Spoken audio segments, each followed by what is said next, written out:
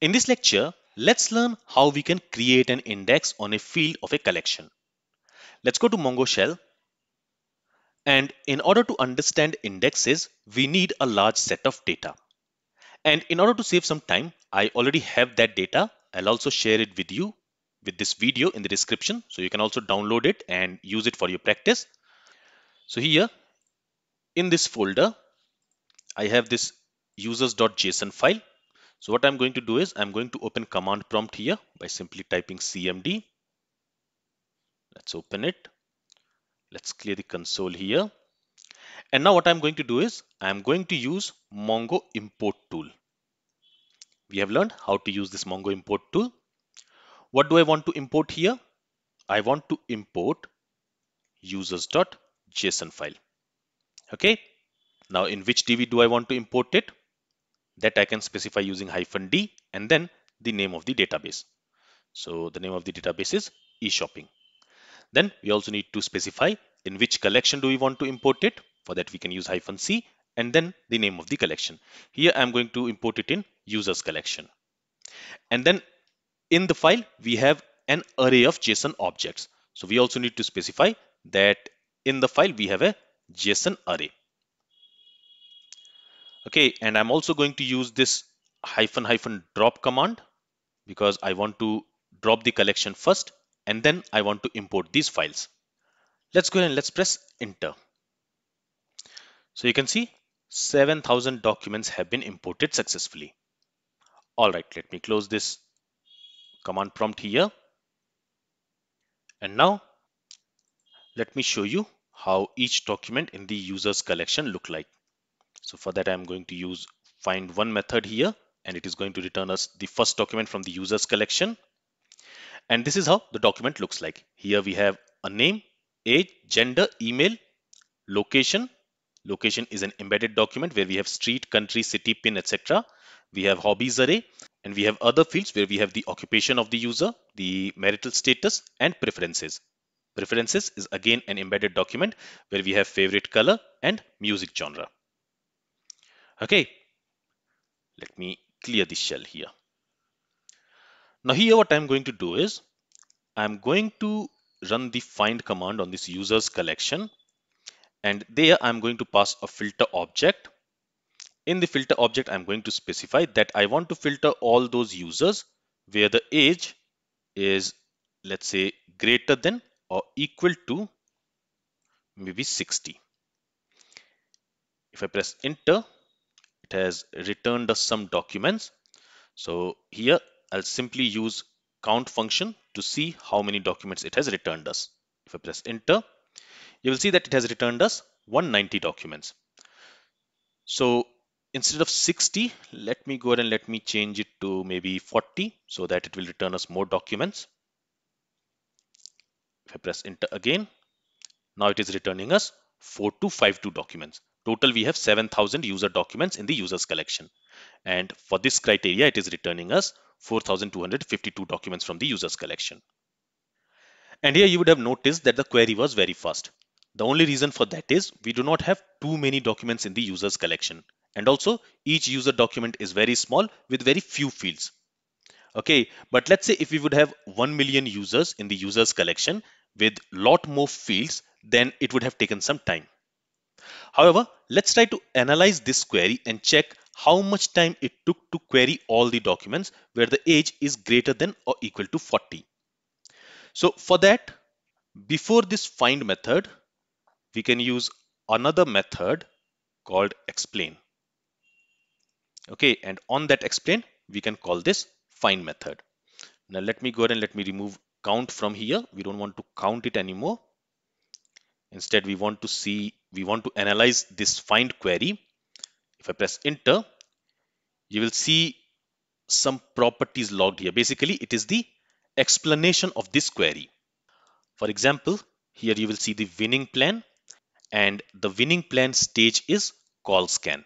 That means here MongoDB has done a collection scan to fetch those 4252 documents.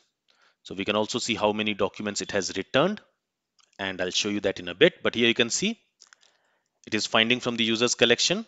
What is the filter criteria? Age should be greater than or equal to 40 you have other informations like host port version other things. But these are not the details which we are interested in. So we are interested in how much time it took to run this query to execute this query how many documents it returned and other things.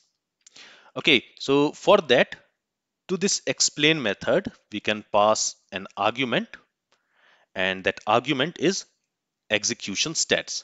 So in the stats this s should be in uppercase. Okay so please use it very carefully otherwise you might misspell it and it will not work. So after passing this argument if i go ahead and if i press enter it will give us some more information. For example it has returned us 4252 documents how much time it took it took 6 milliseconds to execute this query here you can also see how many documents MongoDB has to traverse in order to fetch these 4252 documents. So this total docs examine tells you that through how many documents MongoDB went through in order to fetch the desired result, basically these 4252 documents. So since it did a COLLSCAN, as you can see, it has done a collection scan and in the collection we have 7000 documents. So it went through all those 7000 documents to fetch these 4252 records. And if we would have large set of data, let's say 1 million documents in this user's collection, MongoDB will have to scan 1 million documents and the execution time would have been more. But here, since we have a very small data set, it took only 6 milliseconds. Now what we will do is, let me go and let me clear the shell first. And now we are going to add an index on the gender field. So to add an index, what we can do is on the collection where we want to add an index, on that we can call this create index method. To this, we need to pass an argument. That argument will be an object. And in this object, you specify on which field do you want to add an index. Here, I want to add an index on the age field. And then you also need to specify how do you want to sort it, whether you want to sort it in ascending order or descending order. Because as we learned, the index stores an ordered list of pointers to a document in the collection. Now, how do you want to order it? How do you want to sort it? Whether you want to sort it in ascending order or descending order. And it does not make much difference on how you sort the documents. Okay, so you can also sort it in ascending order or descending order based on your choice. Here I'm going to sort it in ascending order. For that I can specify 1. If I want to sort it in descending order, I can specify minus 1. But here let's sort it in ascending order. And if I run this command, it should create an index on the age field. Okay.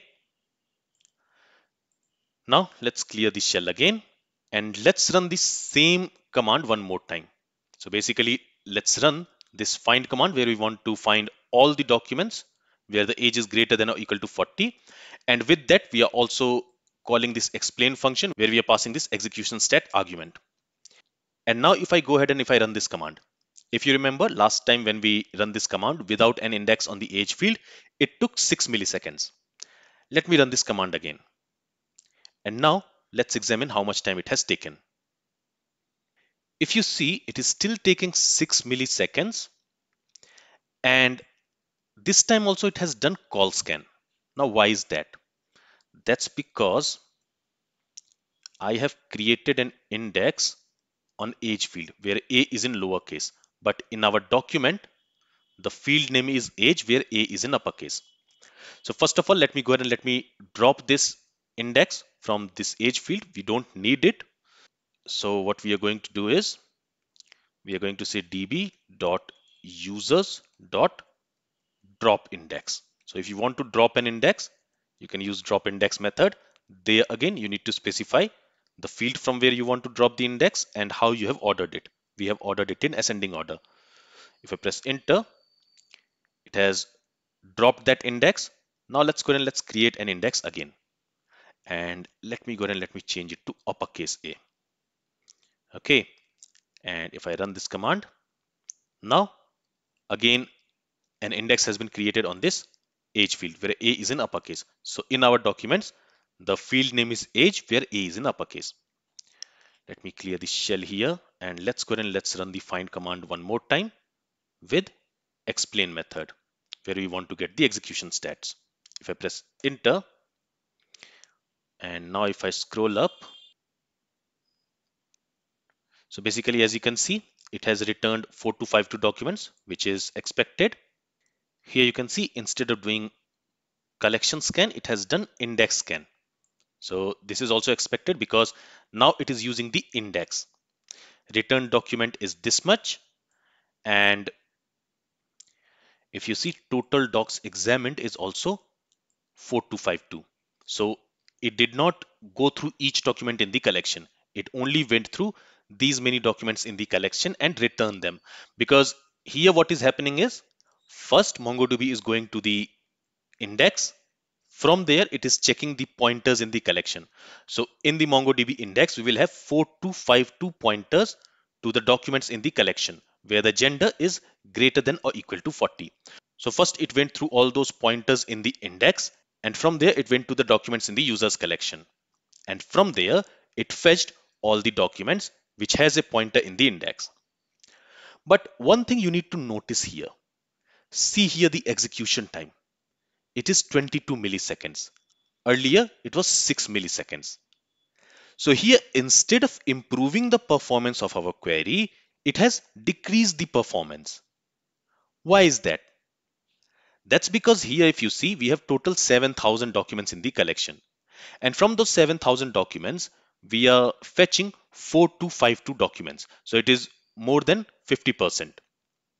And in this case, what is happening is when we are querying these 4252 documents from the collection using collection scan without using an index on the age field, in that case, it will go through the 7000 documents and fetch this 4252 documents. But since we have added an index on the age field, now MongoDB will first go to index from there, it will go to the collection. And this thing will happen for 4252 documents. So for each document, since we have an index on the age field, first MongoDB will go to the index and then from there it will go to the collection. And here we have one extra step for fetching each document. So MongoDB will go to index 4252 times. From there it will go to collection 4252 times and it will fetch the 4252 documents. So here there is one extra step involved. And because of this, instead of improving the performance of the query, it has decreased the performance of the query. I hope you are getting the point. So remember that indexes will be useful when you add it on a field only when you're going to query, let's say 10% or 20% of the document from the collection. If you are going to query majority of the document from the collection, then indexes will not be useful. So this is one point I wanted to cover before I show you how it improves the performance of the query. So first I wanted to show you a negative case where you should not use index. As you can see in this case, where we are returning majority of the document from the collection, there we should not be using indexes. There COLLSCAN will give better performance because in that case we are omitting one extra step of going to index. All right, now let me clear this shell here.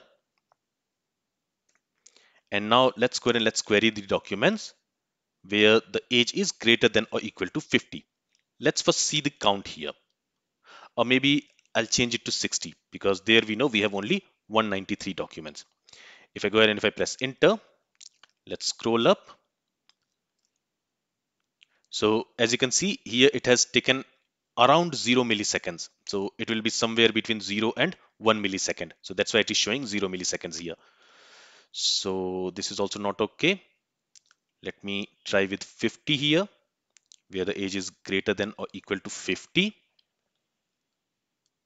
And here I also wanted to check the count first. So I'll remove this explain method for now. And let's see the count here. If I press enter here we have 2711 records. So it is less than 50% so I think this should work. So let's go ahead and let's run that command again. And here I will change it to 50 greater than or equal to 50 let's press enter. In this case let's see how much time it has taken. As you can see it has done index scan because since we are using age field in the filter query and since we have an index on the age field it is doing index scan let's see the time it has taken it has taken 4 milliseconds. Right. So this is when we have an index on the age field. And when we did not had index on the age field let's see how much time it takes. For that let me first clear the shell.